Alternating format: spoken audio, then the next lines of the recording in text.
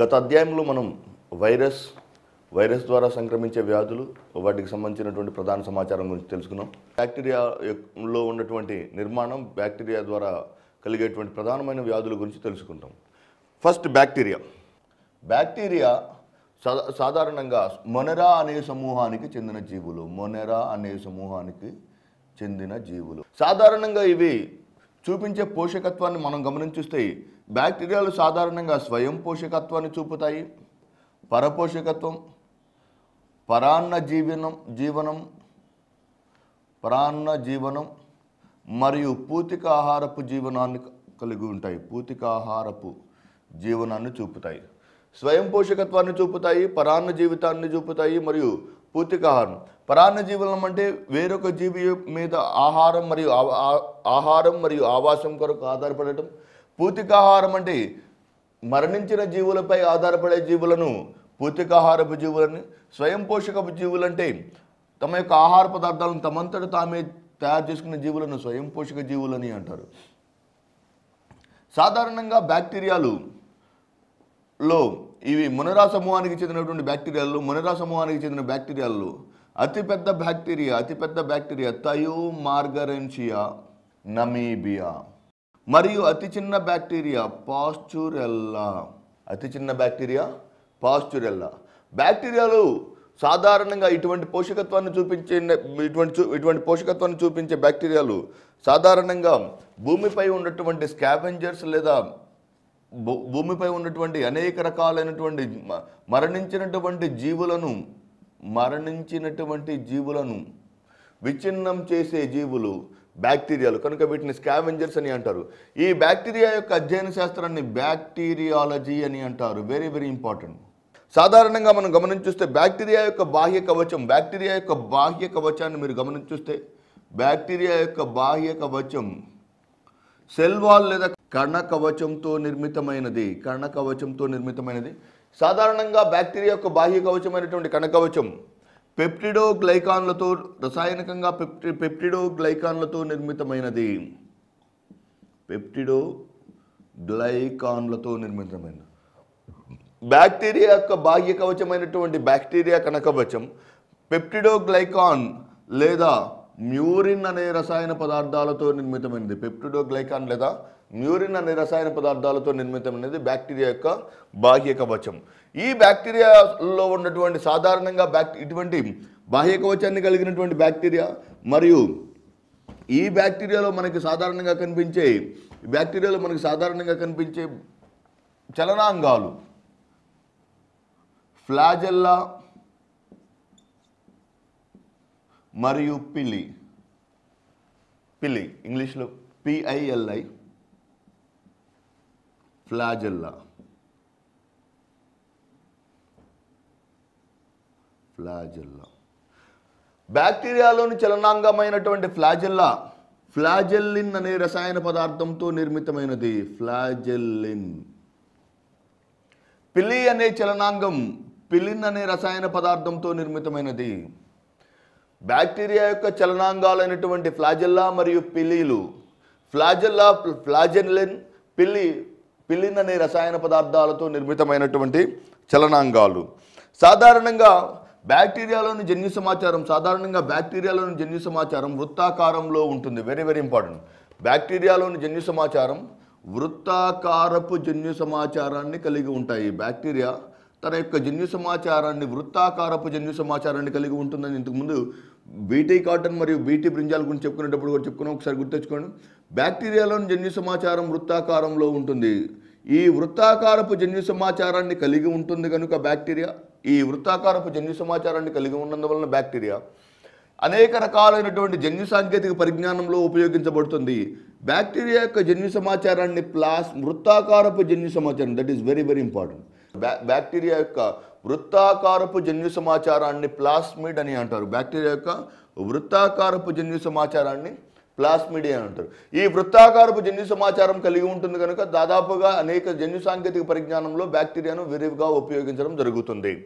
మరియు ఈ వృత్తాకారపు జన్యు సమాచారం మరియు సాధారణంగా ఇది తన యొక్క ఆకారాన్ని ఒక రూపం నుండి మరొక రూపానికి మార్చుకుంటుంది. Very very important bacteria pleomorphism మార్పిజం అనే లక్షణం చూపుతుంది. వెరీ వెరీ ఇంపార్టెంట్ తన యొక్క ఆకారాన్ని ఒక రూపం నుండి మరొక రూపానికి మార్చుకునే లక్షణాన్ని కలిగి ఉంటుంది. ఎలా అంటే సాధారణంగా బ్యాక్టీరియాలో తన యొక్క ఆకారాన్ని ఒక రూపం నుండి మరొక రూపానికి మార్చుకోవడం ద్వారా తన యొక్క ఆకారాన్ని ఒక రూపం నుంచి మరొక రూపానికి మార్చుకోవడం ద్వారా సాధారణంగా వీటిలో ఉన్నటువంటి జన్యు సమాచారం వృత్త వీటి వృత్తాకారపు జన్యు సమాచారాన్ని కలిగి తన యొక్క ఆకారాన్ని ఒక రూపం నుంచి మరొక రూపానికి మార్చుకోవడం వలన మరియు ఇవి సాధారణంగా వాతావరణంలో ఉన్నటువంటి నత్రజనిని వేరు బుడిపల వరకు వాతావరణంలోని నత్రజనిని వేరు బుడిపలలో నిక్షిప్తం చేయడానికి దోహదం జరుగుతుంది. అంటే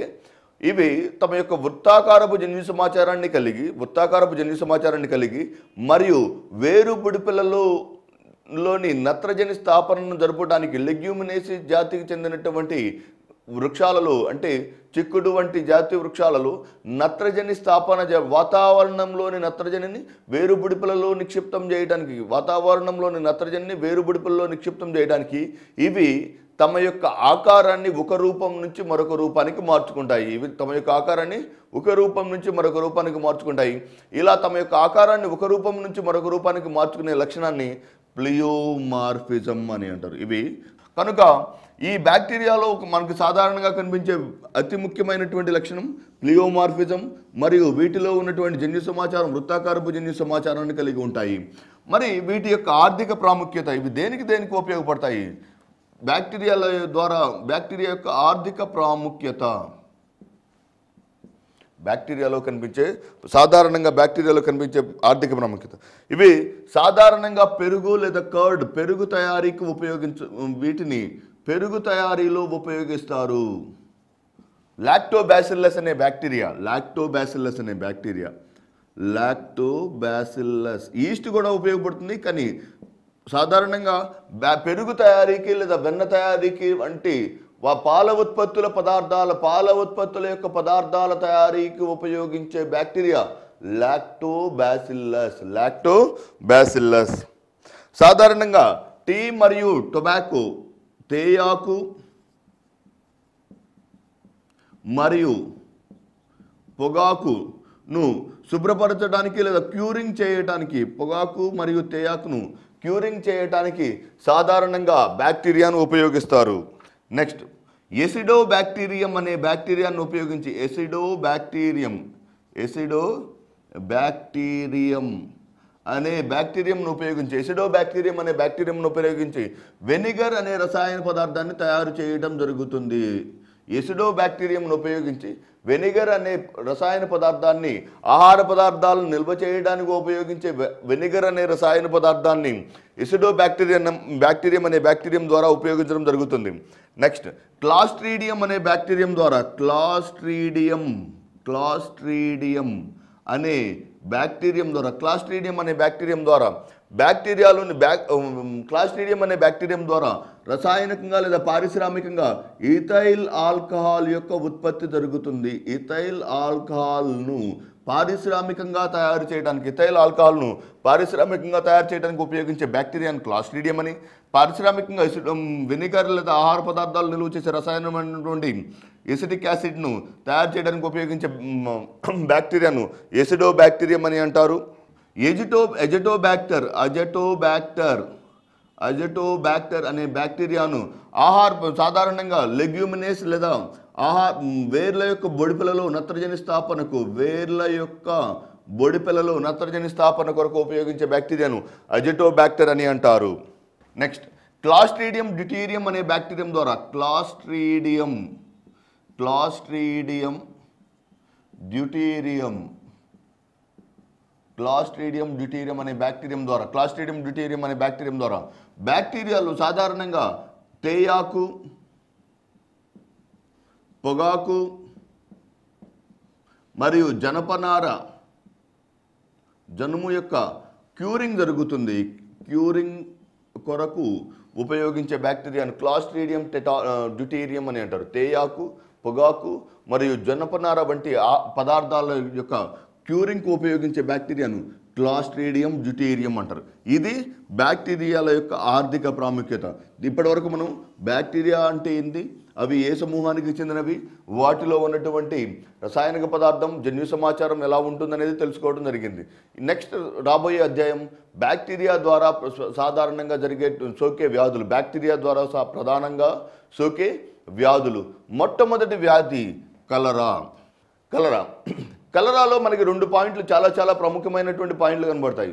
ప్ర- కలరాలో కలరాను కలుగజేసే బ్యాక్టీరియా మొట్టమొదటి వ్యాధి అధ్యయన శాస్త్రంలో మీరు గుర్తుపెట్టుకోవాల్సింది వ్యాధి కారకం కన్ వ్యాధికారకం ఏ సమూహానికి చెందినది?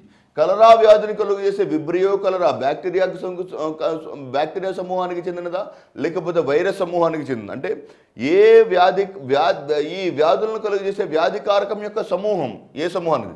సో బ్యాక్టీరియా వ్యాధులే కానీ కొంతకాలం తర్వాత ఏమైపోతుంది?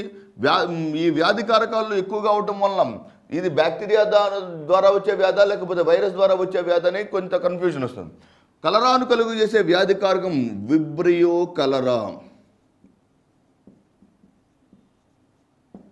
విబ్ కలరాను కలుగు చేసే వ్యాధి కారకం విబ్రియో కలరా. ఈ వ్యాధికారక వ్యాధికారకమైనటువంటి విబ్రియో కలరా ఈ వ్యాధికారకమైనటువంటి విబ్రియో కలరా మానవ శరీరంలోకి కలుషితమైన నీటి ద్వారా మరియు కలుషిత ఆహార పదార్థాల ద్వారా సోకుతుంది. ఇలా మానవునికి కలుషితమైన నీరు మరియు కలుషిత ఆహార పదార్థాల ద్వారా మానవునికి సోకే ఈ వ్యాధిలో ఏ వ్యవస్థ ప్రధానంగా ప్రా ప్రభావితమవుతుంది? కలరా వ్యాధిలో సాధారణంగా మానవుల్లోని ప్రభావితమయ్యే వ్యవస్థ జీర్ణ వ్యవస్థ. వ్యాధి లక్షణం అన్నప్పుడు కలరా వ్యాధిలో కనిపించే ప్రధానమైనటువంటి వ్యాధి లక్షణం వెరీ వెరీ ఇంపార్టెంట్ కలరా వ్యాధిలో మనకి సాధారణంగా లేదా ప్రాథమికంగా కనిపించే వ్యాధి లక్షణం అన్నప్పుడు డీహైడ్రేషన్ నిర్జలీకరణం. మానవుని యొక్క అధిక మూత్రం అధిక మోషన్స్ జరుగుతాయి. కానీ మోషన్స్ వల్ల కనిపించే ప్రధానమైనటువంటి లక్షణం అంటే ఏం చెప్పుకోవచ్చు? డీహైడ్రేషన్. ఈ డీహైడ్రేషన్ అంటే ఆ వ్యాధిగ్రస్తుడి యొక్క శరీరం నుంచి నీటిని అధికంగా నష్టపోవడం జరుగుతుంది. ఈ అధికంగా నష్టపోయినటువంటి నీటి యొక్క శాతాన్ని మరలా పునరుత్పత్తి చేయడానికి నీరు ఒక్కటే పోదు. నీటితో పాటు అధిక మొత్తంలో లవణాలను నష్టపోవడం జరుగుతుంది. That is very very important ఈ కలరా వ్యాధిగ్రస్తులు కానీ లేకపోతే ఏదైనా వ్యాధిగ్రస్తుల యొక్క శరీరం నుంచి నీటిని నష్టపోయినప్పుడు నీటిని నష్టపోయినప్పుడు నీటితో పాటు లవణాల యొక్క పునఃస్థా పునరుత్పాదన లేదా పునఃస్థాపన కొరకు చేసేటువంటి ద్రావణాన్ని? ఓఆర్ఎస్ ద్రావణం అని అంటారు. ఓఆర్ఎస్ ద్రావణం అని అంటారు. ఈ ఓఆర్ఎస్ ద్రావణంలో ఉన్నటువంటి రసాయనిక కంపోజిషన్ అనేది very very important area particularly from cholera డిసీజ్లు. సాధారణంగా ఓఆర్ఎస్ ద్రావణాన్ని ఏ ఏ రసాయనాల ద్వారా తయారు చేస్తారు? ఓఆర్ఎస్లో ఉన్నటువంటి ప్రధానమైనటువంటి అనుఘటకాలు. సాధారణంగా sodium chloride. Sodium chloride. Sodium క్లోరైడ్లో సాధారణంగా సోడియం క్లోరైడ్ సాధారణంగా three point five grams sodium chloride. Next sodium bicarbonate. Sodium bicarbonate. Sodium bicarbonate నుండి సాధారణంగా two point sodium bicarbonate two point five grams two point potassium chloride KCl one point five grams potassium chloride one point five grams glucose twenty grams sucrose forty grams. ఈ టేబుల్లో very very important information ఉంది. ఎట్టి పరిస్థితుల్లో ఈ ఇన్ఫర్మేషన్లో ఎలా ఎలా questions అడుగుతాడో చూద్దాం. ఉన్నటువంటి అంటే మనం ఊహించినటువంటి ఏరియాస్లో నుంచి చాలా ప్రాథమిక క్వశ్చన్ రావచ్చు. ఓఆర్ఎస్ ద్రావణంలో ఉపయోగించేటువంటి రసాయనాలలో అధిక మొత్తంలో కనిపించే రసాయనం సుక్రోస్ సుక్రోస్. లేకపోతే ఎలా క్వశ్చన్ అడగచ్చు? ఈ క్రింది లవణాలలో ఏ లవణాలు ఓ ఓఆర్ఎస్ ద్రావణంలో లభించవు? అంటే సాధారణంగా sodium chloride sodium bicarbonate potassium chloride glucose అన్నప్పుడు గ్లూకోజ్ మనకు తెలుసు సోడియం క్లోరైడ్ తెలుసు పొటాషియం సోడియం ఉంటే కంపల్సరీ పొటాషియం కూడా ఉంటుంది కాబట్టి కానీ సోడియం బైకార్బోనేట్ అనుకోం వాస్తవానికి sodium chloride three point five grams sodium bicarbonate two point five grams potassium chloride one point five grams glucose twenty grams ఉన్నటువంటి ఓఆర్ఎస్ లవణాలను ఒక లీటర్ నీటిలో పోర్టబుల్ వాటర్లో కలుపుకొని త్రావడం త్రాగడం ద్వారా ఆ వ్యాధిగ్రస్తుల శరీరం నుంచి డీహైడ్రేషన్ లేదా నిర్జలీకరణం అనే ప్రభావం నుండి వారు బయటపడవచ్చు. ఇది కలరాకు సంబంధించినటువంటి సమాచారం. వ్యాధికారకం విబ్రియో కలరా కానీ ప్రభావితమయ్యే వ్యవస్థ జీర్ణ వ్యవస్థ. రెండవ వ్యాధి టైఫాయిడ్. టైఫాయిడ్ వ్యాధి సాధారణంగా టైఫాయిడ్ వ్యాధి సాధారణంగా మానవ శరీరంలోని జీర్ణ వ్యవస్థను ప్రధానంగా ప్రభావితం చేసే వ్యాధి జీర్ణ వ్యవస్థను ప్రభావితం చేసే వ్యాధి ఏ సాధారణంగా కలుగు చేసే వ్యాధికారకం సాల్మోనెల్లా టైఫీ. టైఫాయిడ్ వ్యాధిని కలుగజేసే వ్యాధి కారకం సాల్మొనెల్లా టైఫీ. ఈ సాల్మనల్లా టైఫీ ద్వారా సోకే ఈ టైఫాయిడ్ వ్యాధి సాల్మనల్లా టైఫీ ద్వారా సోకే ఈ టైఫాయిడ్ వ్యాధి మానవ శరీరంలో జీర్ణ వ్యవస్థను ప్రభావితం చేస్తుంది. కనుక మరియు దీన్ని గుర్తించడానికి చేసేటువంటి పరీక్షా విధానాన్ని వైడాల్ పరీక్ష అంటారు. లేదా ఈ వ్యాధి నిర్ధారణకు చేసే చికిత్సా విధానాన్ని వ్యాధి నిర్ధారణకు చేసే పరీక్షను వైడాల్ పరీక్ష అని అంటారు. సాధారణంగా ఈ వ్యాధి యొక్క నిర్ధారణకు లేదా వ్యాధి యొక్క నివారణకు ఉపయోగించే మందులను సల్ఫా డ్రగ్స్ అని అంటారు. వెరీ వెరీ ఇంపార్టెంట్ క్వశ్చన్ చాలాసార్లు రిపీటెడ్గా ప్రీవియస్ ఎగ్జామ్స్లో అడిగినటువంటి క్వశ్చన్ ఈ క్రింది టైఫాయిడ్ వ్యాధికి ఇచ్చేటువంటి మందులు సల్ఫా డ్రగ్స్. అంటే స- టైఫాయిడ్ కొరకు అనేక రకాలైనటువంటి జెనరిక్ నేమ్స్తో ఉన్నటువంటి వ్యా మందులు ఉన్నాయి. కానీ వాటిలో ప్రధానంగా మనకు కనిపించే మందు ఏంటిది? Sulfa drugs. క్షయ లేదా ట్యూబర్క్యులోసిస్ లేదా TB tuberculosis. Very very important disease for two thousand fourteen భారత ప్రభుత్వం మొట్టమొదటిసారిగా ఒక వైద్య ఒక వ్యాధి కొరకు ప్రభుత్వ ప్రైవేట్ భాగస్వామ్యంలోకి వెళ్ళినటువంటి ఏకైక వ్యాధి ట్యూబర్క్యులోసిస్ ప్రభుత్వ ప్రైవేట్ భాగస్వామ్యం అనగా ప్రభుత్వ ప్రైవేట్ భాగస్వామ్యం అనగా దీనిలో ఈ వ్యాధి యొక్క చికిత్స కొరకు అధిక సంఖ్యలో ఆరోగ్య నిపుణులు అవసరం కనుక అధిక సంఖ్యలో ఆరోగ్య నిపుణులకు అవసరం కనుక ఈ వ్యాధి యొక్క చికిత్సా విధానానికి ఆరోగ్య నిపుణులను ప్రభుత్వం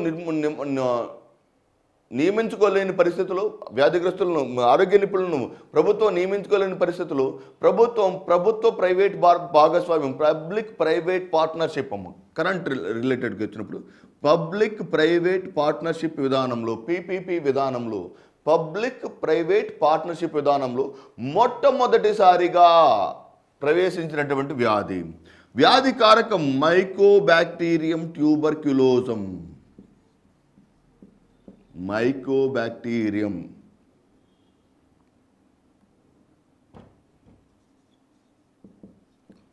ట్యూబర్ క్యులోజం వ్యాధి కలుగు చేసే వ్యాధిని కలుగు చేసే వ్యాధి కారకం mycobacterium tuberculosis mycobacterium tuberculosis ఈ మైకోబ్యాక్టీరియం ట్యూబర్ క్యులోజం కలుగు చేసే ఈ టైఫాయిడ్ వ్యాధి మానవ శరీరంలో గాలి ద్వారా సోకే వ్యాధి.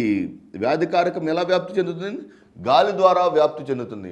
ఒక మా ఒక వ్యక్తి నుంచి మరొక వ్యక్తికి ఆరో వ్యాధిగ్రస్తుడైనటువంటి మానవుడి నుంచి ఆరోగ్యవంతమైన మానవునికి సోకడానికి ప్రధానమైనటువంటి కారకం గాలి. ఈ గాలి ద్వారా సోకినటువంటి ఈ వ్యాధులు గాలి ద్వారా సోకినటువంటి ఈ వ్యాధి ద్వారా వచ్చి ఈ వ్యాధిని నిర్ధారించడానికి చేసే చికిత్సా విధానాన్ని పరీక్షా విధానాన్ని మాంటాక్స్ పరీక్ష అని అంటారు. వెరీ వెరీ ఇంపార్టెంట్ ఇంతకుముందు మనం చూసాము టైఫాయిడ్ వ్యాధికి చేసేటువంటి పరీక్షా విధానాన్ని వైడాల్ పరీక్షా విధానం అని. Whereas in the case of TB వ్యాధిని నిర్ధారించడానికి చేసే పరీక్షా విధానాన్ని మాంటాక్స్ పరీక్షా విధానం అని అంటారు.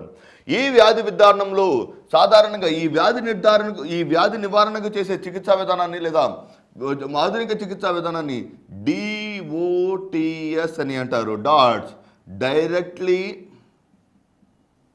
observed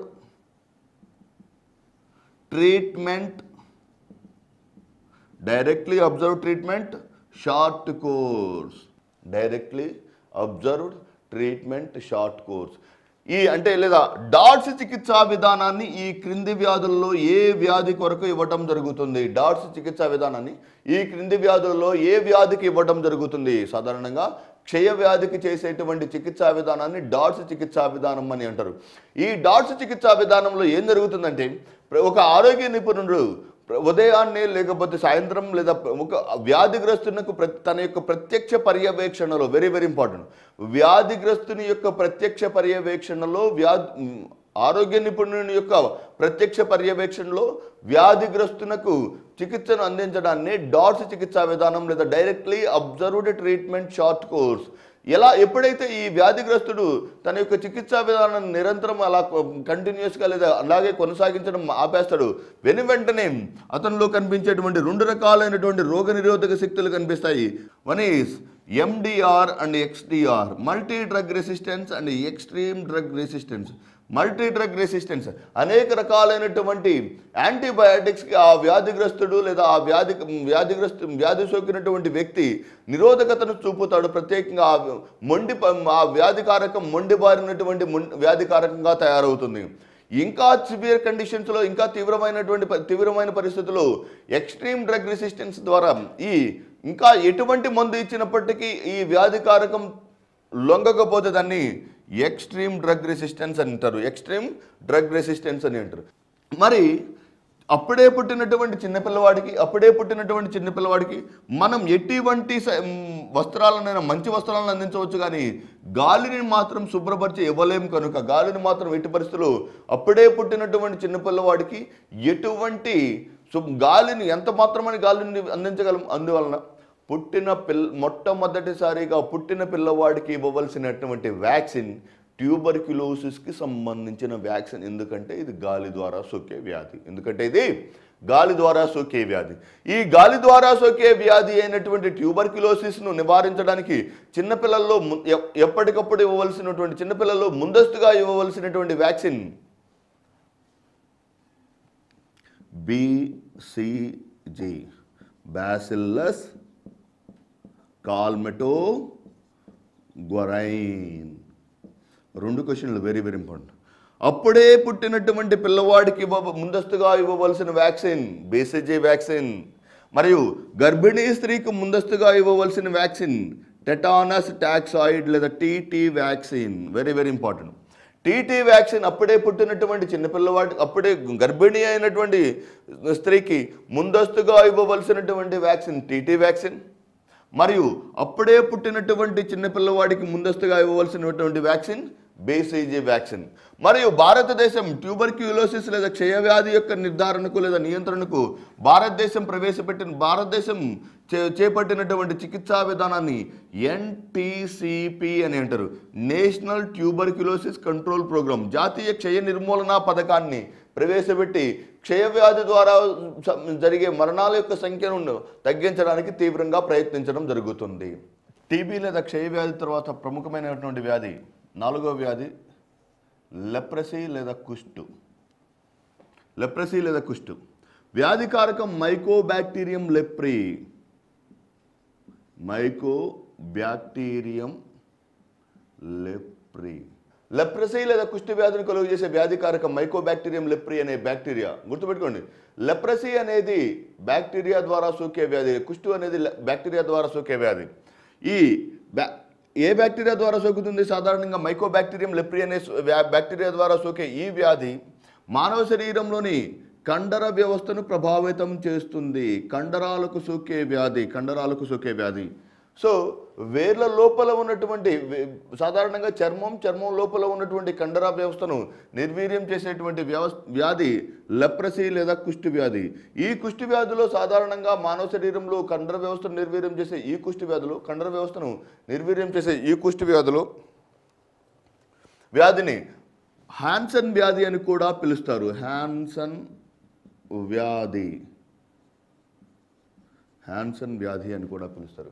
ఎందుకంటే మొట్టమొదటిసారిగా దీన్ని కనుగొన్న శాస్త్రవేత్త హ్యాన్సన్ అయినందువలన దీన్ని మొట్టమొదటిసారిగా ఈ వ్యాధి కారకాన్ని మొట్టమొదటిసారిగా కనుగొన్న శాస్త్రవేత్త హ్యాన్సన్ అయినందువలన ఈ వ్యాధి ఈ వ్యా- ఈ వ్యాధిని హ్యాన్సన్ వ్యాధి అని కూడా పిలుస్తారు. హ్యాన్సన్ వ్యాధి అని కూడా పిలుస్తారు. ఈ హ్యాన్సన్ వ్యాధి ద్వారా సోకేటువంటి ఈ హ్యాన్సన్ వ్యాధిలో సాధారణంగా కండరాలకు సోకేటువంటి వ్యాధి అత్యంత ఎగ్జామినేషన్ పాయింట్ ఆఫ్ వ్యూలో చాలా చాలా ట్రిక్కీ ఏరియా. సాధారణంగా కుష్టి వ్యాధి సాధారణంగా ప్రత్యక్ష తాకిడిల ద్వారా ఎట్టి పరిస్థితుల్లో సోకదు. ప్రత్యక్ష స్పర్శల ద్వారా. లేదా డైరెక్ట్ కాంటాక్ట్ ద్వారా డైరెక్ట్ కాంటాక్ట్ లేదా ప్రత్యక్ష స్పర్శల ద్వారా ఒక వ్యక్తి నుంచి మరొక వ్యక్తికి సోకదు. ఒక యాంటీ మల్టీ డ్రగ్ థెరపీ దీన్ని నివారణకు ఉపయోగించే చికిత్సా విధానాన్ని ఎండిటి లేదా multi drug therapy multi drug therapy. ఈ మల్టీ డ్రగ్ థెరపీ ద్వారా ఈ మల్టీ ఎండిటీ లేదా మల్టీ డ్రగ్ థెరపీ ద్వారా ఉపయోగించేటువంటి మందుల ద్వారా సాధారణంగా ఈ వ్యాధి ఒక ఒక వ్యక్తి నుంచి మరొక వ్యక్తికి సోకదు ప్రత్యక్షత కానీ వ్యాధిగ్రస్తురాలైనటువంటి తల్లి నుండి కానీ వ్యాధిగ్రస్తురాలైనటువంటి తల్లి నుండి వ్యాధిగ్రస్తురాలైన తల్లి నుండి శిశువుకి ఈ వ్యాధి సోకుతుంది. లెప్రసీ లేదా కుష్టి వ్యాధి మైకోబ్యాక్టీరియం లెప్రే అనే వ్యాధిక బ్యాక్టీరియా ద్వారా సోకే ఈ వ్యాధి మొట్టమొదటిసారిగా కనుగొన్న శాస్త్రవేత్త హ్యాన్సన్ శాస్త్ర హ్యాన్సన్ అనే మహాశయుడు కనుగొన్నటువంటి ఈ వ్యాధి సాధారణంగా వ్యాధిగ్రస్తురాలైన తల్లి నుండి వ్యాధిగ్రస్తురాలైన తల్లి నుండి శిశువుకి సోకే వ్యాధి. వ్యాధిగ్రస్తురాలైన తల్లి నుండి శిశువుకి ఈ వ్యాధి సోకుతుంది కనుక ఈ వ్యాధి నిర్ధారణకు చేసే అద్భుతమైనటువంటి నిర్ధారణ పరీక్షను పీసీఆర్ అని అంటారు. ఈ వ్యాధి నిర్ధారణకు చేసే పరీక్షా విధానాన్ని. పొలిమరేజ్ చైన్ రియాక్షన్ లేదా పీసీఆర్ అని అంటారు. అంటే ఈ పీసీఆర్ చికిత్స ఈ పీసీఆర్ ద్వారా గర్భ జరాయువులో లేదా పిండం పిండంలో ఉన్నటువంటి జరాయువులో ఉన్నటువంటి ఉల్బద్రవంలో ఉన్నటువంటి కొద్ది మొత్తంలో ఉన్నటువంటి వ్యాధి కారకాలను సైతం గుర్తించవచ్చు. అంటే చాలా తక్కువ మోతాదులో ఉన్నటువంటి వ్యాధి కారకాలను కూడా గుర్తించడానికి చేసేటువంటి చికిత్సా విధానాన్ని నిర్ధారణ పరీక్షను పీసీఆర్ లేదా పొలిమరైజ్ చైన్ రియాక్షన్ అని అంటారు. Polymerase chain reaction polymerase chain reaction అని అంటారు. తర్వాత వ్యాధి ప్లేగ్ ప్లేగ్ బ్యాక్టీరియా వ్యాధులలో సాధారణంగా మీరు గుర్తుంచుకోవాల్సినటువంటి వ్యాధి కారకం పేరు అన్నప్పుడు ఈ ప్లేగు వ్యాధి యొక్క కారకం. మిగిలిన యొక్క ఏ వ్యాధి కారకాన్ని యొక్క పేరునైనా ఆ వ్యాధితోటి అనుసంధానించబడి ఉంటుంది. కలరా విబ్రియో కలరా అంటే కలరా వ్యాధిని కలుగజేసే కారకం విబ్రియో కలరా. టైఫాయిడ్ వ్యాధిని కలుగజేసే వ్యాధి కారకం సాల్మోనెల్లా టైఫీ. అలాగే లెప్రసీని కలుగజేసే వ్యాధి కారకం మైకోబాక్టీరియం లెప్రీ. కట్కాయి వ్యాధి లేదా పెర్చుసెస్ వ్యాధిని కలుగు చేసే కారకం బర్డుటెల్లా పెర్చుసెస్. ఓకే టటానస్ వ్యాధి లేదా ధనుర్వాతాన్ని కలుగు చేసే వ్యాధి కారకం క్లాస్ట్రీడియం టటాని. అంటే వ్యాధి కారకం పేరుతో వ్యాధి ఉంటుంది. అంటే కానీ ఈ ఒక్క ప్లేగ్ ప్లేగ్ వ్యాధిలో మాత్రమే కలుగు చేసే వ్యాధి కారకం ఎర్సీనియా పెస్టిస్. వ్యాధి కారకం పేరు ఎర్సీనియా పెస్టిస్. సాధారణంగా కలుషితమైన గాలి ద్వారా సాధారణంగా కలుషితమైన గాలి ద్వారా సోకే వ్యాధి. కలుషితమైన గాలి ద్వారా సోకే ఈ వ్యాధి కలుషితమైన గాలి ద్వారా సోకే ఈ వ్యాధి ప్రధానంగా వాహకంగా గాలి ఉంటుంది అతిదేయిగా ఎలుకలు ఉంటాయి. అతిదేయి అతిదేయిగా ఎలుకలు ఉంటాయి.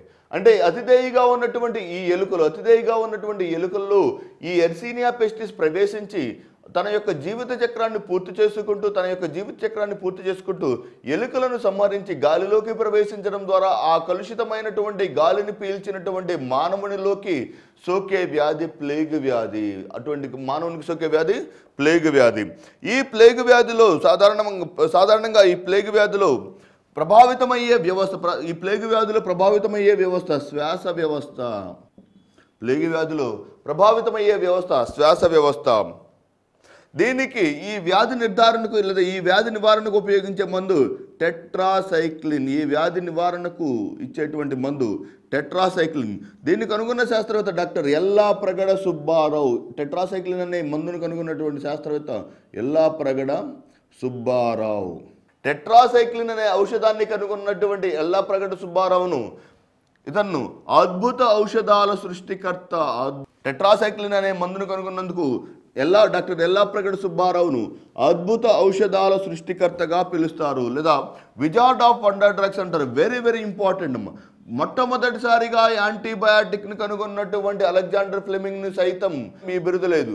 కానీ టెట్రాసైక్లిన్ అనే మందు కనుగొన్నందున విజార్డ్ ఆఫ్ వండర్ డ్రగ్స్ అద్భుత ఔషధాల సృష్టికర్తగా పేరుగొంచాడు.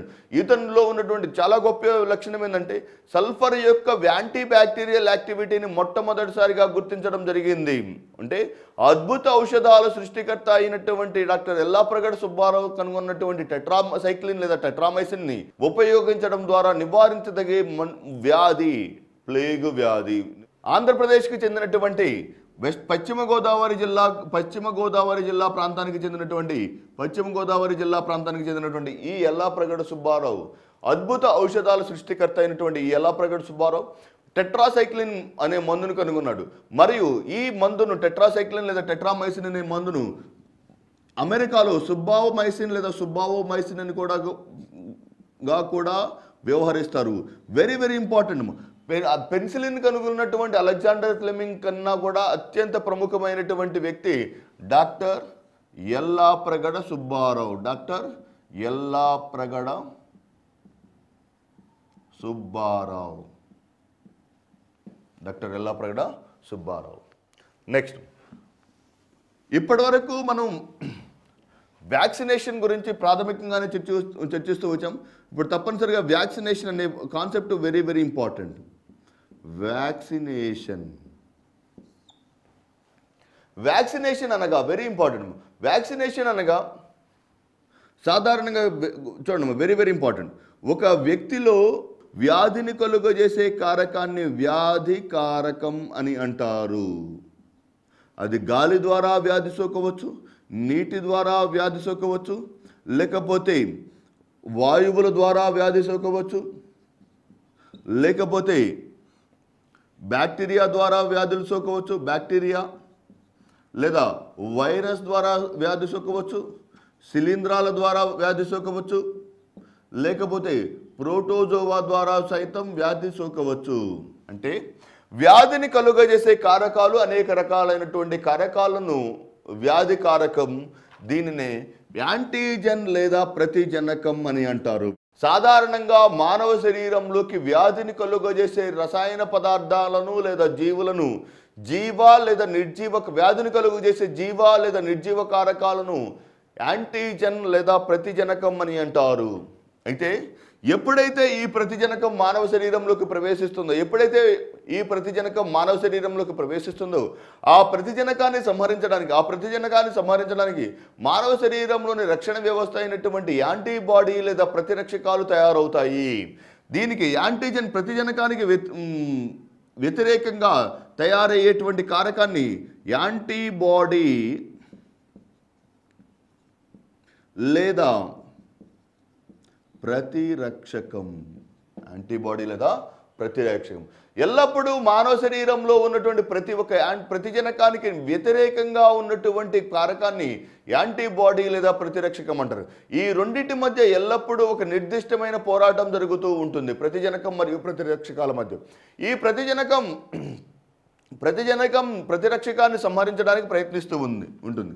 ప్రతిజనకం ప్రతిరక్షకాన్ని సంహరించడానికి ప్రయత్నిస్తూ ఉంది ఎప్పుడైతే ప్రతిజనకం మానవ శరీరంలోకి ప్రవేశిస్తుందో దాన్ని సంహరించడానికి ప్రతిరక్షకాలు దోహదం చేస్తాయి. అంటే మరి వ్యాక్సినేషన్ సమయంలో ఏం జరుగుతుంది? సాధారణంగా చాలా సింపుల్ లాజిక్ చూడండి.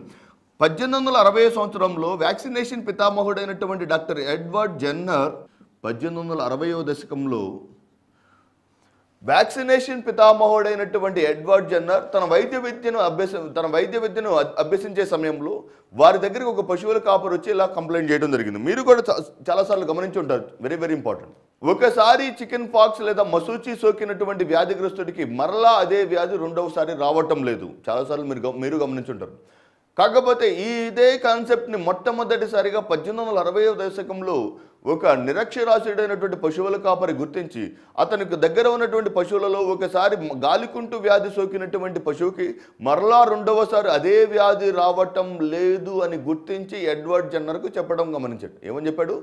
ఒకసారి వ్యాధి వచ్చినటువంటి జీవికి అదే వ్యాధి రెండవసారి రావటం లేదని చెప్పాడు. అంటే రెండవసారి రావటం లేదంటే అంటే దానిలో ఉన్నటువంటి ఏదో ఒక రక్షక వ్యవస్థ వల్ల అంటే ఒకసారి మానవ శరీరంలోకి ఏదైనా వ్యాధికారకం ప్రవేశిస్తే మానవ శరీరంలోకి ఏదైనా వ్యాధికారకం ప్రవేశిస్తే దానిని నివారించడానికి మానవ శరీరంలో ఒక రక్షణ వ్యవస్థ ప్ర- బయలుదేరుతుంది. దాన్ని నివారించడానికి మానవ శరీరంలో ఏదో ఒక రక్షణ వ్యవస్థ బయలుదేరుతుంది. వ్యాధిని కలుగు చేసే కారకాన్ని యాంటీజెన్ అన్నాము. అంటే ప్రతి వ్యాధిని నిర్ధార నివారించడానికి మన శరీరంలో ఒక అద్భుతమైన రక్షణ వ్యవస్థ ఉంటుంది.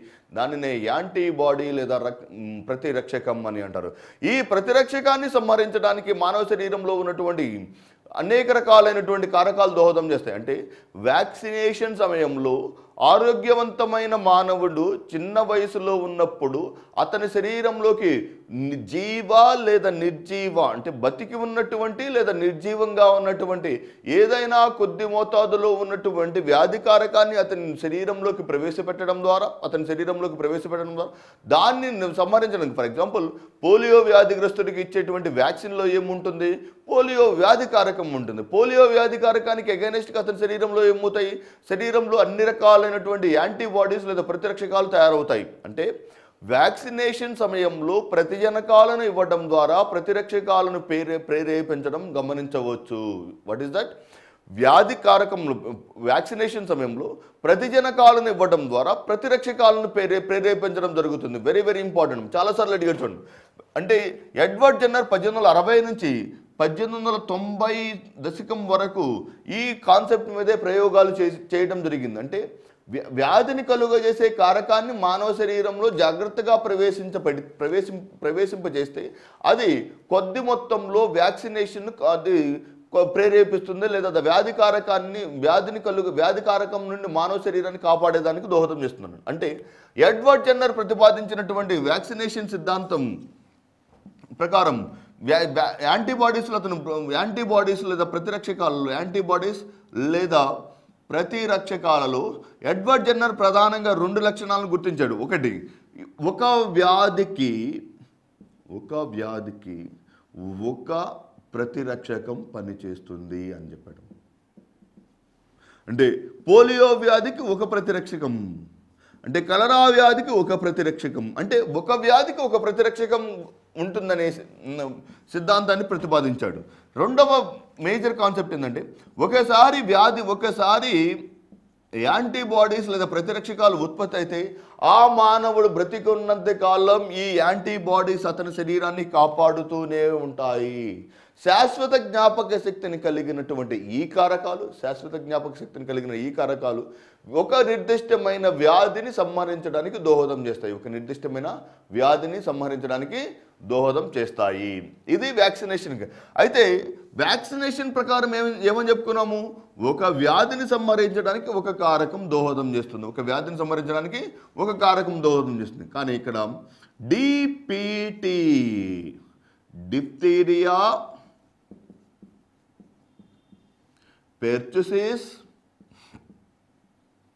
పెర్చుసిస్ మరియు టెటానస్ అనే వ్యాధులు మూడు వ్యాధులకు కల్పించే వ్యాక్సిన్ని డిపిటి వ్యాక్సిన్ డిపిటి వ్యాక్సిన్ లేదా ట్రిప్లెట్ వ్యాక్సిన్ అని అంటారు. డిపిటి వ్యాక్సిన్ లేదా ట్రిప్లెట్ వ్యాక్సిన్ అని అంటారు. వెరీ వెరీ ఇంపార్టెంట్ డిపిటి లేదా ట్రిప్లెట్ వ్యాక్సిన్ ఏ ఏ వ్యాధు వ్యాధులకు ఇస్తారు? Number one diphtheria number two pertussis number three tetanus tetanus లేదా ధనుర్వాతం. ఈ వ్యాధులు కలుగజేసే కారకాలు ప్రత్యేకంగా మీకు ప్రతి అడగకపోవచ్చు కానీ గుర్తుపెట్టుకోండి. Diphtheria. Corynebacterium diphtheriae corynebacterium diphtheriae. Bordetella pertussis clostridium tetani. Corynebacterium diphtheriae అనే వ్యాధి కారకం ద్వారా సోకే వ్యాధి డిఫ్తీరియా. బర్డుటెల్లా పెర్చుసిస్ అనే వ్యాధి కారకం ద్వారా సోకే వ్యాధి బర్డుటెల్లా పెర్చుసిస్ ద్వారా సోకే వ్యాధి పెర్చుసిస్ క్లాస్ట్రీడియం టెటానీ ద్వారా సోకే వ్యాధి టెటానస్. క్లాస్ట్రీడియం టెటానీ ద్వారా క్లాస్ట్రీడియం టెటానీ అనే వ్యాధి కారకం ద్వారా సోకే వ్యాధి టెటానస్. ఈ కారకాల ద్వారా సోకే ఈ వ్యాధి ఈ కారకాల ద్వారా సోకే ఈ మూడు వ్యాధులను ని- నివారించడానికి ఇచ్చే వ్యాక్సిన్ను డిపిటి వ్యాక్సిన్ లేదా ట్రిప్లెట్ వ్యాక్సిన్ అని అంటారు. ట్రిప్లెట్ వ్యాక్సిన్ అని అంటారు. డిపిటి వ్యాక్సిన్ లేదా ట్రిప్లెట్ వ్యాక్సిన్ అని అంటారు. నెక్స్ట్ తర్వాత వ్యాధి ఆంథ్రాక్స్ వ్యాధికారకం ఆంథ్రాక్సోసిల్లస్ సాధారణంగా పెంపుడు జంతువులు లేదా పశువుల నుండి పశువుల నుండి పశువుల కాపరికి పశువుల నుండి పశువుల కాపరికి సోకే వ్యాధి ఆంథ్రాక్స్ ఈ పశువులు మరణించడం ద్వారా లేదా పశువుల ద్వారా పశువుల నుండి పశు గాలి ద్వారా పశువుల యొక్క గాలి ద్వారా పశువుల కాపరులకు సాధారణంగా సోకే వ్యాధి ఆంత్రాక్సోస్ అనే వ్యాధికారకం మానవ శరీరంలోకి ప్రవేశించడం ద్వారా సోకే వ్యాధి. సాధారణంగా ప్రభావితమయ్యే వ్యవస్థ శ్వాస వ్యవస్థ ప్రభా సాధారణంగా ప్రభావితమయ్యే వ్యవస్థ శ్వాస వ్యవస్థ. ఈ ఆంత్రాక్స్ వ్యాధులు సాధారణంగా ప్రభావితమయ్యే వ్యవస్థ శ్వాస వ్యవస్థ. నెక్స్ట్ బొటిలిజం బొటులిజం లేదా ఫుడ్ పాయిజనింగ్ వ్యాధి. ఈ బొటులిజం లేదా ఫుడ్ పాయిజనింగ్ వ్యాధులు సాధారణంగా కలుగు చేసే వ్యాధికారకం క్లాస్ట్రీడియం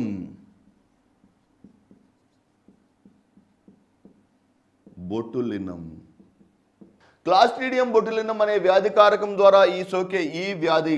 బొటులిజం ఆహార కలుషితమైన ఆహార పదార్థాల ద్వారా కలుషితమైన ఆహారం ద్వారా సోకే వ్యా సోకుతుంది. సాధారణంగా కలుషితమైన ఆహారం ద్వారా సోకే వ్యాధి బొటిలిజం లేదా ఫుడ్ పాయిజనింగ్ వ్యాధి వ్యాధికారకం botulinum meningitis.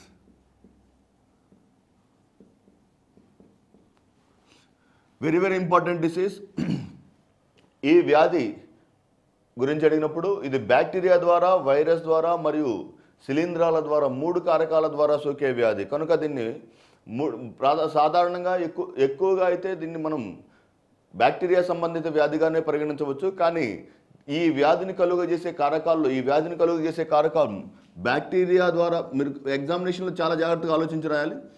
ఒకవేళ బ్యాక్టీరియా వైరస్ శిలీంధ్రాలు అని అడిగి ఆప్షన్ డిలో పైవన్నీ అని అడిగితే మాత్రం తప్పనిసరిగా మూడు కారకాల ద్వారా మెనింజైటిస్ అనే వ్యాధి సంభవిస్తుంది.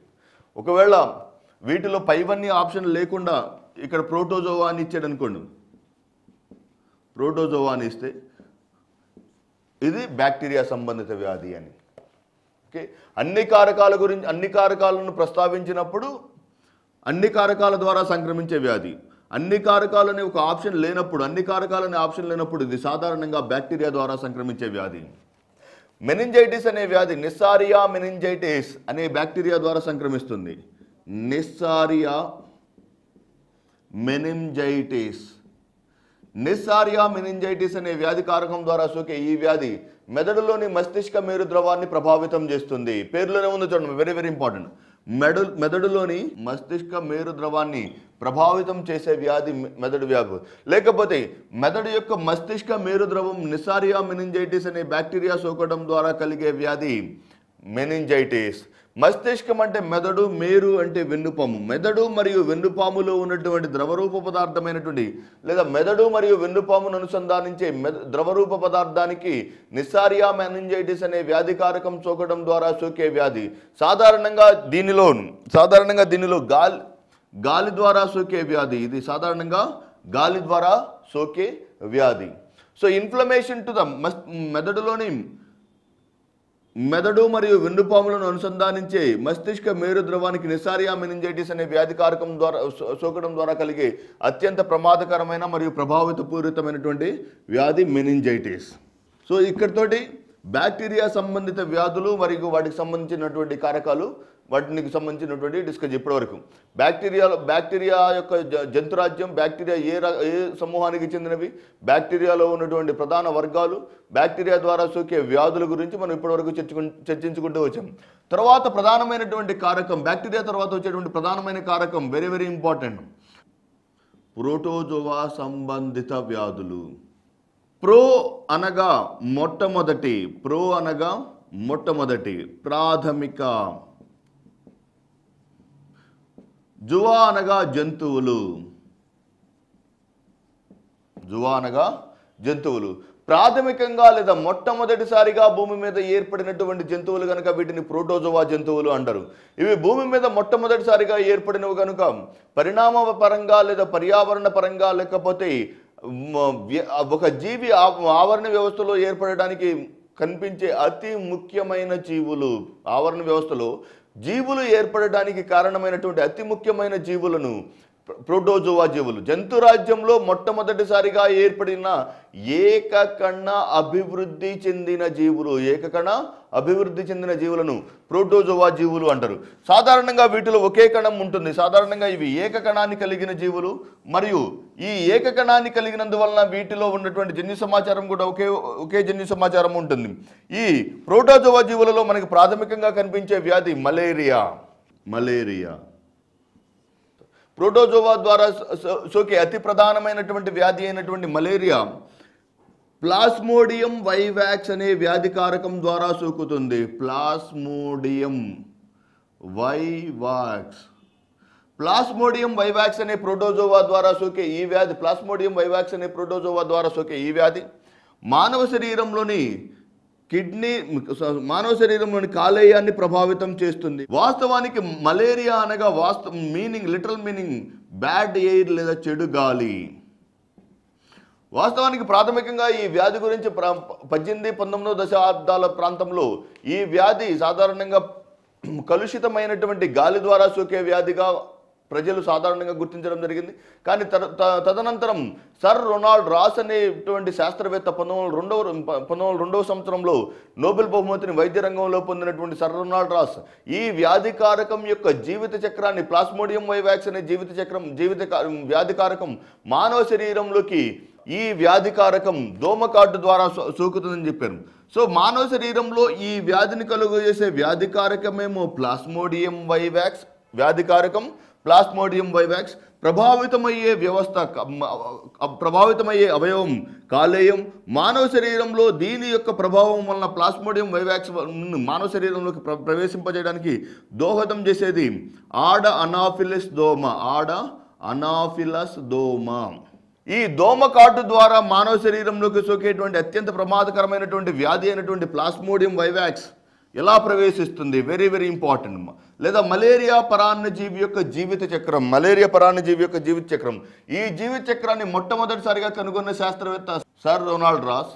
ఇతను ఈ మలేరియా పరాన్నజీవి యొక్క జీవిత చక్రాన్ని కనుగొన్నందుకు మలేరియా పరాన్నజీవి యొక్క జీవిత చక్రాన్ని కనుగొన్నందుకు మలేరియా పరాన్నజీవి యొక్క జీవిత చక్రాన్ని కనుగొన్నందుకు ఇతనికి పంతొమ్మిది వందల రెండవ సంవత్సరంలో పంతొమ్మిది వందల రెండవ సంవత్సరంలో వైద్య రంగంలో నోబెల్ బహుమతి లభించినది. వైద్య రంగంలో నోబెల్ బహుమతి లభించినది. దేని కొరకు? మలేరియా పరాన్నజీవి యొక్క జీవిత చక్రాన్ని కనుగొన్నందుకు సార్ రొనాల్డ్ రాస్ అనే శాస్త్రవేత్తకు పంతొమ్మిది వందల రెండవ సంవత్సరంలో వైద్య రంగంలో రెండవ వైద్య రంగంలో నోబెల్ బహుమతిని పొందిన శాస్త్రవేత్త. ఇతను వైద్య రంగంలో నోబెల్ బహుమతి పొందినటువంటి ఈ సరా సర్ రొనాల్డ్ రాస్ ఈ పరాన్నజీవి యొక్క జీవిత చక్రాన్ని ఈ క్రింది ఈ క్రింది విధంగా విశదీకరించడం జరిగింది. ఎప్పుడైనా వ్యాధికారకం మానవ శరీరంలోకి ప్రవేశించడానికి దోమ కార్డు ద్వారా మానవ శరీరంలోకి ప్రవేశించేటప్పుడు దోమ కార్డు ద్వారా మానవ ఒక దోమ ఆడ అనాఫిలిస్ దోమ ఆరోగ్యవంతమైన మానవ శరీరంలోకి శరీరాన్ని కుట్టినప్పుడు తన యొక్క లాలాజలం ద్వారా తన యొక్క దంతాల ద్వారా తన యొక్క తొండం ద్వారా స్పోరోజాయిట్లను స్పోరోజాయిట్లను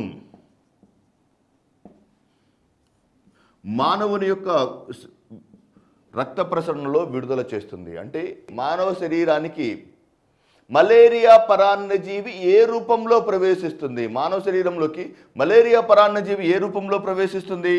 స్పోరోజాయిట్ల రూపంలో ప్రవేశిస్తుంది ఎప్పుడైతే ఈ స్పోరోజాయిట్లు ఎర్ర రక్త కణాల ద్వారా ప్రయాణిస్తాయో ఎవరి ద్వారా ప్రయాణిస్తాయి? ఆర్బీసీ లేదా రెడ్ బ్లడ్ కార్పస్కల్స్ లేదా ఎర్ర రక్త కణాల ద్వారా స్పోరోజాయిట్లు మానవ శరీరంలోకి ప్రవేశించి స్పోరోజాయిట్లు మానవ శరీరంలోని ఎర్ర రక్త కణాల ద్వారా ప్రయాణించి ఎర్ర రక్త కణాల గుండా మానవ శరీరంలోకి ప్రవేశించిన తర్వాత ఈ స్పోరోజాయిట్లు ఎర్ర రక్త కణాలలో గుండా ప్రవేశించి మొట్టమొదటిసారిగా కాలేయమునకు చేరుతాయి. ఎర్ర రక్త కణాల ద్వారా ఎక్కడికి చేరుతాయి? కాలేయమునకు చేరి కాలేయమునకు లివర్కు చేరి.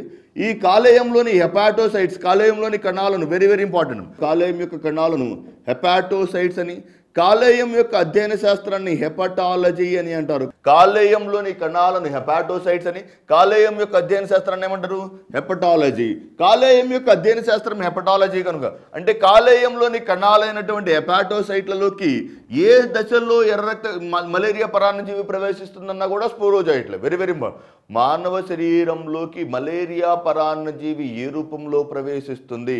స్పోరోజాయిట్లు మానవ శరీరంలోకి స్పోరోజాయిట్లు ప్రవేశించిన తర్వాత కాలేయ కణాలను ఏ దశలో చేరుతాయి? స్పోరోజాయిడ్ స్పోరోజాయిట్ల దశలో మానవ శరీరంలోని ఎర్ర రక్త కణాలలోకి ప్రవేశించినటువంటి మానవ శరీరంలోని కాలేయ కణాలలోకి ప్రవేశించినటువంటి స్పోరోజాయిట్లు కాలేయ కణాలలో అనేక సంఖ్యలో అనేక సంఖ్యలో విభజన చెంది మీరోజాయిడ్స్గా రూపాంతరం చెందుతాయి. మానవ శరీరానికి వెళ్ళేటువంటి దశ అయితే స్పోరోజాయిడ్లు కాలేయంలో ప్రతి ఒక్క కాలేయ కణం ప్రతి ఒక్క హెపాటోసైట్ ఒక్కొక్క స్పోరోజాయిట్ని నుండి మిలియన్ల సంఖ్యలో మీరోజాయిట్లను విడుదల చేస్తాయి. మిలియన్ల సంఖ్యలో మీరోజాయిట్లను విడుదల చేస్తాయి. మరలా ఈ మీరోజాయిట్లు తిరిగి ఇది ఎక్కడ ఏర్పడుతుంది? ఈ కాలేయంలో జరిగింది. ఇది స్పోరోజైట్స్ కాలేయంకి ఎలా ప్రయాణించినాయి? ఆర్బీసీ ఎర్ర రక్త కణాల ద్వారా. మీరోజాయిట్లు మ- మరలా తిరిగి ఎర్ర రక్త కణాలలో లేదా ఆర్బీసీలోకి ప్రవేశించి మీరోజాయిట్లు ఎర్ర రక్త కణాలలోకి ప్రవేశించిన తర్వాత మానవ శరీరంలోని మరలా ఎర్ర రక్త కణాల్లోకి ప్రవేశించి ఇవి రెండు రకాలైనటువంటి విభజనను చూపుతాయి. ఒకటి అలైంగిక విభజన రెండు లైంగిక విభజన వెరీ వెరీ ఇంపార్టెంట్ అంటే అలైంగిక విభజన ద్వారా మరలా స్పోరో మీరోజాయిట్లు అదే సంఖ్యలో ఉన్నటువంటి మీరోజాయిట్లను విడుదల చేస్తాయి. అలైంగిక విభజన ద్వారా లేదా అలైంగిక ప్రత్యుత్పత్తి ద్వారా మీరోజాయిట్ల వలయంలాగా రూపాంతరం చెందుతాయి. ఏర్పడిన తర్వాత ఈ లైంగిక ప్రత్యుత్పత్తి ద్వారా ఏర్పడినటువంటి మరలా లైంగిక ప్రత్యుత్పత్తి ద్వారా స్త్రీ మరియు పురుష సిద్ధ బీజాలు ఏర్పడతాయి. స్త్రీ మరియు పురుష సిద్ధ బీజాల యొక్క ఏర్పాటు కనిపిస్తుంది. ఈ స్త్రీ మరియు పురుష సిద్ధ బీజాలు మరలా మరొక దోమ మరొక దోమ యొక్క కాటు దోమ కాటు ద్వారా దోమ యొక్క దోమలోకి ప్రవేశిస్తాయి. ఈ స్త్రీ మరియు పురుష సిద్ధ బీజాలు స్త్రీ మరియు పురుష సిద్ధ బీజాలు దోమ యొక్క లాలాజలంలోకి ప్రవేశించినటువంటి స్త్రీ మరియు పురుష సిద్ధ బీజాలు దోమ యొక్క శరీరంలో ఇవి ఫలదీకరణం చెంది ఊకైనట్స్గా ఏర్పడతాయి ఊకైనట్స్గా ఏర్పడతాయి. ఈ ఊకైనట్స్ తిరిగి దోమ యొక్క శరీరంలో స్పోరోజాయిట్లుగా రూపాంతరం చెందుతాయి. స్పోరోజాయిడ్స్. ఈ స్పోరోజాయిడ్స్ మరలా మరొక ఆరోగ్యవంతమైన మానవుడి శరీరంలోకి ప్రవేశించి మరలా ఈ వలయాన్ని పూర్తి చేస్తాయి. అంటే ఇక్కడి నుంచి సిద్ధ బీజాల యొక్క సంయోగానికి కారణం సిద్ధ- బీజాలు సంయోగం చెందడం ద్వారా ఏర్పడినటువంటి ఊకైనట్స్ కానీ ఊకైనట్స్ సంయోగం చెందడం ద్వారా ఏర్పడినటువంటి ఊకైనట్స్ ఫలదీకరణం చెందడం మరలా అభివృద్ధి చెందడం ద్వారా స్పోరోజాయిట్లుగా ఏర్పడిన వలయం దోమలో జరిగే వలయం. ఇది ఎక్కడ జరుగుతుంది? దోమలో జరుగుతుంది. మరి స్పోరోజాయిట్లు మీరోజాయిట్లుగాను మీరోజాయిట్లు లైంగిక మరియు అలైంగిక ప్రత్యుత్పత్తి చూ చూపటం ఇది మానవుని యొక్క శరీరంలో జరుగుతుంది. మానవుని యొక్క శరీరంలో జరుగుతుంది. స్పోరోజాయిట్లు ఎర్ర రక్త కణాల ద్వారా ప్రవేశించి కాలేయ కణాలను చేరి మీరోజాయిట్లుగా రూపాంతరం చెందుతాయి. రూపాంతరం మీరోజాయిట్లుగా రూపాంతరం లేదా అభివృద్ధి చెందినటువంటి ఎర్ర- స్పోరోజాయిట్లు మరలా ఎర్రక్తి కణాలకు చేరి లైంగిక మరియు అలైంగిక ప్రత్యుత్పత్తిని చూపుతాయి. అలైంగిక ప్రత్యుత్పత్తి ద్వారా వాటి యొక్క సంఖ్యను మరియు వాటిలో ఉన్నటువంటి క్రోమోజోముల సంఖ్యను విస్తృతం చేసుకుంటాయి. మరియు లైంగిక ప్రత్యుత్పత్తి ద్వారా ఏర్పడినటువంటి స్త్రీ మరియు పురుష సిద్ధ బీజాలు లైంగిక ప్రత్యుత్పత్తి ద్వారా ఏర్పడినటువంటి స్త్రీ మరియు పురుష సిద్ధ బీజాలు దోమ యొక్క లాలాజలంలోకి ప్రవేశించి ఊకైనట్స్గా రూపాంతరం చెందుతాయి. ఊకైనట్స్ తిరిగి స్పోరోజాయిట్లను చేరుకుంటాయి. ఇది దోమ యొక్క మల మలేరియా వ్యాధిని కలుగజేసేటువంటి ప్లాస్మోడియం వైవాక్స్ యొక్క జీవిత చరిత్ర. ఇది వల ఈ జీవిత చరిత్రను మలేరియా వ్యాధి యొక్క పరాన్నజీవి యొక్క జీవిత చరిత్రను కనుగొన్న శాస్త్రవేత్త సర్ రొనాల్డ్ రాస్ అనే మహాశయుడు.